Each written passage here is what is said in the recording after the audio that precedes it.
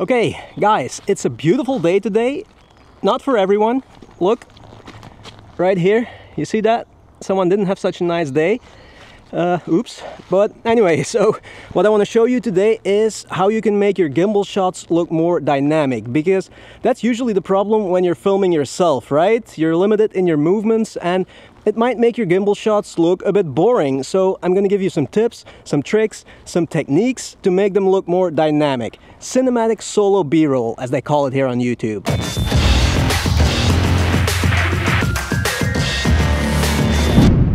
And I'm gonna shoot everything with the new Zhiyun Crane M3. This is such a cool gimbal. It's tiny, it's light, but it can hold a smartphone, an APS-C camera, and even a full-frame camera, like my Sony a7S III.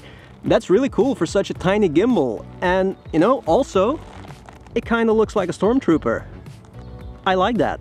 There's a touchscreen and as far as features go, this gimbal can do pretty much everything any other gimbal can do and maybe even more because there's a fill light and there's this extra attachment here at the bottom that allows you to connect a microphone. Not just any microphone, but Zhiyun's own microphone. Unfortunately, they were out of microphones when they sent me the gimbal, so I haven't had the opportunity to test it yet. Okay, but enough about this cool little gimbal. Let's shoot some video, because that's what you're all here for, right? I'm gonna be using the Canon M50 with the kit lens. That's it. No ND filter, no nothing. We're gonna keep it super simple. A few weeks ago, or even months, I showed you the behind the scenes of one of my solo B-rolls, and it was shot handheld, and on a tripod, but I think the extra stability of a gimbal can give your cinematic sequence some extra I don't know, some extra oomph. You know what I mean? It might make people wonder, did he do that by himself or did he get some help? And that's what I want to achieve.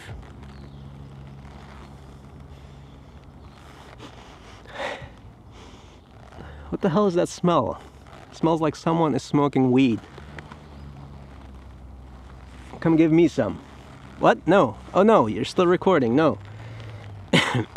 The first tip is super simple, but the problem is that I don't see enough people doing it, and that's using inverted mode or undersling underslung mode when you hold the gimbal, the handle of the gimbal up here so that you can go really close to the ground. Now, I think I finally know why a lot of people are not using that mode. It's because it's not so easy with a small gimbal. When I'm using any of my other gimbals, my big gimbals, it's super easy. I just move the handle from down here, normal mode, to up here, and boom, I'm done.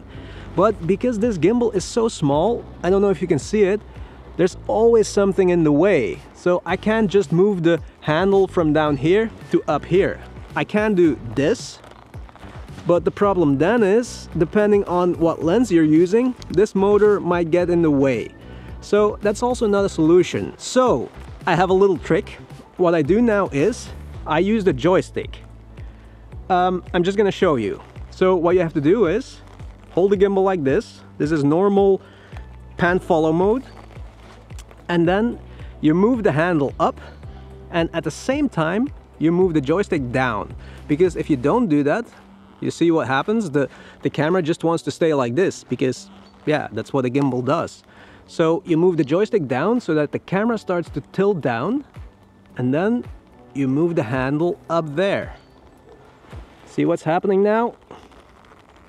There. And now you're in inverted mode, undersling mode. The motor is on the back here, so it's not blocking your lens. The only problem is that your image is upside down, but it's super easy to fix in post. You just one click of the button and the upside down image is un upside down again. Yeah. So that's it.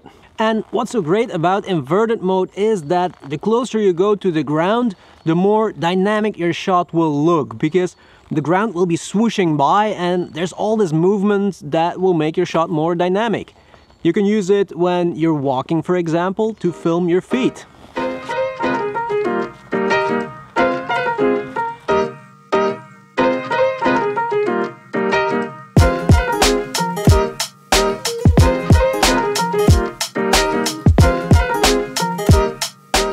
And what you could also do, instead of just holding the camera in front of you, you can add some extra movement and maybe orbit around your feet.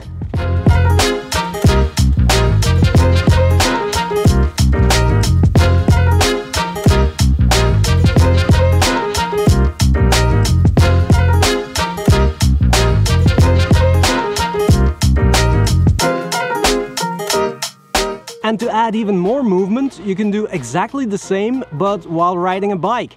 Just be really careful with your camera. What is this here? It's a bug.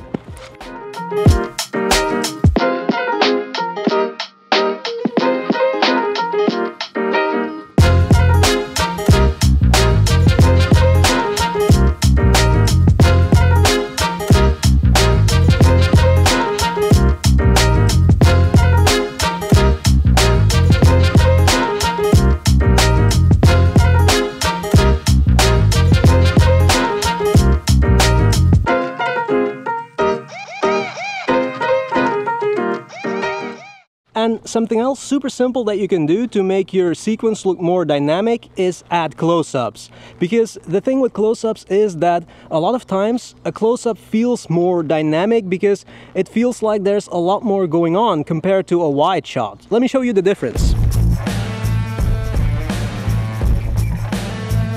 So super simple, I'm gonna arrive with the bike here and then get off my bike. That's it. First a wide shot.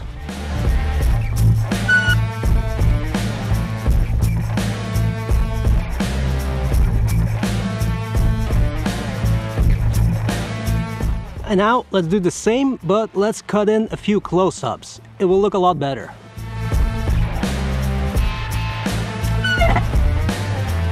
So that was a close-up for the front wheel. Now I'm gonna do one where I put uh, the kickstand down.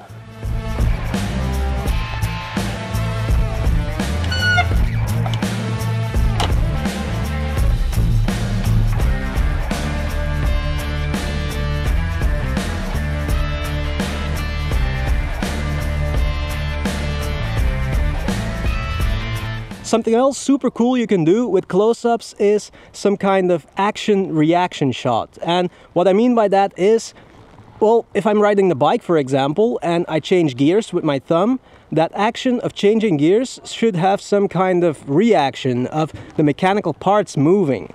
So what I like to do is first show a close-up of my thumb changing the gears and then cut to a close-up of those mechanical parts moving. It's not easy, but if you can pull it off, then it looks really cool. In case you're wondering where the sun went, I ran out of time yesterday, so I had to come back today. But no problem, let's do this. Okay, so the shot of me changing the gears, no problem. Now a close-up of the mechanical parts behind me. Whew, okay, so ideally I hold the gimbal in my right hand because the gears are on the right so I can film them in inverted mode like this. But the gears here are also on the right side. And I can't steer with my left hand on the right side here and change the gears. I would die. So I think what I'm gonna do is instead of holding the gimbal in my right hand I'm gonna hold it behind my back in my left hand like this. And then I'm gonna get a top-down shot it won't be as nice as what I had in mind, but there's no other way. I have to do it like this. So then I can change the gears with my right hand, film with my left hand behind my back. I won't be able to see what I'm filming. Improvise, adapt, and overcome. That's what they say, right?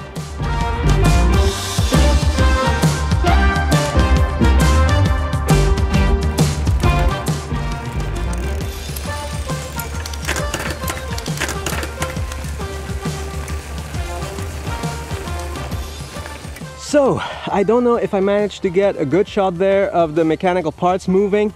I think so, but I'm gonna have to go back to the studio and check it out to be sure. You already know. Um, yeah, wow. You see that? Don't you just love the forest when it's so misty and mystical and majestical?